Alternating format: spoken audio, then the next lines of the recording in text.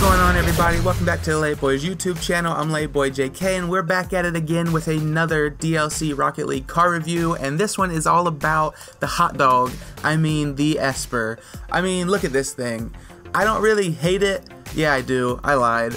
Uh, it's like a like a like a scarab mixed with a hot dog. It's super long and not really that pretty, but the decals on it are pretty cool. I like this one a lot. The rims on this one, um, I don't really like either. It, it's kind of cool. I like the lights down the middle of it.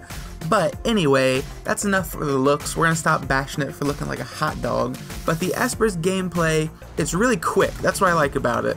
It's kind of long. It's not extremely long, but it's long enough that it can get up there, get some good aerials, get some good height right away when you go up for aerials.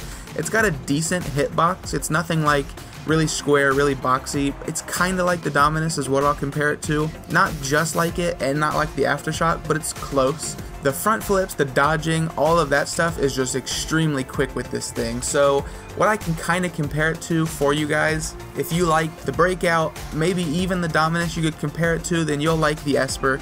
I just don't like the look of it, and uh, you know, it doesn't really have the squarest hitbox for me, so I didn't really enjoy it too much, but at the same time, it's not a complete turd. So if you like if you like the look of it or you like uh, the gameplay I kind of described it as, then definitely pick it up when it comes out on the 18th. And that's it for this video though guys. If you like this information or you found it helpful in any way, please be sure to smack the like button. If you have any more questions about this car or any of the other ones, drop us a comment below and we'll be sure to respond to you very quick. And make sure you guys check out the other three car reviews, the Masamune, the Marauder, and the Aftershock, and you can pick them all up on July 18th, just a couple days from now. if you're liking all this crazy content we're hitting you guys with, be sure to subscribe to the YouTube channel. We upload every single day at 5 p.m., so we'll see you guys tomorrow. The Layup Boys, out.